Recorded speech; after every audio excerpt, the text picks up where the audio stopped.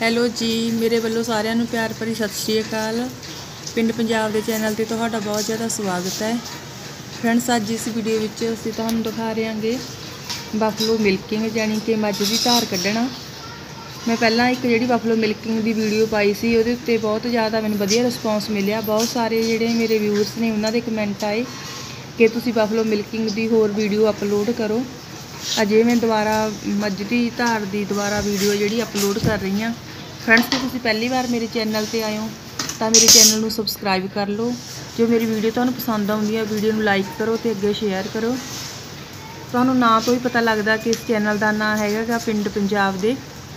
ਇਸ ਚੈਨਲ ਦੇ ਉੱਤੇ ਪੰਜਾਬੀ ਸੱਭਿਆਚਾਰ, ਪੰਜਾਬੀ ਕਲਚਰ ਰਿਲੇਟਡ ਵੀਡੀਓ ਮੈਂ ਅਪਲੋਡ ਕਰੂੰਗੀ, ਜਿਹਦੇ ਵਿੱਚ ਸਾਡੀ ਖੇਤੀ ਜਾਂ ਸਾਡੇ ਜਿਹੜੀ ਜੀਵਨ ਸ਼ੈਲੀ ਆ, ਸਾਡੇ ਰਹਿਣ ਰਹਿਣ ਸਹਿਣ ਦਾ ਢੰਗ ਕਿਸ ਤਰ੍ਹਾਂ ਗਾ ਕਿਸ ਤਰ੍ਹਾਂ ਦਾ ਸਾਡਾ ਖਾਣਾ ਗਾ ਕਿਸ ਤਰ੍ਹਾਂ ਦਾ ਸਾਡਾ ਪਹਿਰਾਵਾ ਇਹ ਤੁਹਾਨੂੰ ਦੇਖਣ ਨੂੰ ਮਿਲੇਗਾ। ਜੇਕਰ ਤੁਹਾਨੂੰ ਵੀ ਪੰਜਾਬੀ ਸੱਭਿਆਚਾਰ ਦੇ ਨਾਲ ਪਿਆਰ ਹੈ, ਤੁਹਾਨੂੰ ਵੀ ਇੰਟਰਸਟ ਹੈ ਪੰਜਾਬੀ ਸੱਭਿਆਚਾਰ ਨਾਲ, ਤਾਂ ਪਲੀਜ਼ ਮੇਰੇ ਚੈਨਲ ਨੂੰ ਸਬਸਕ੍ਰਾਈਬ ਕਰ ਲਓ।